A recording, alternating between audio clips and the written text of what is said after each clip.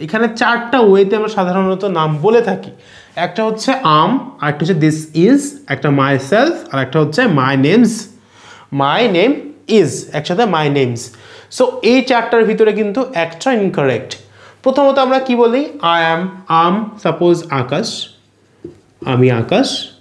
My name's আকাশ। তারপরে my self আকাশ, আপনার যে নামটা আপনি দিয়ে দিলেন।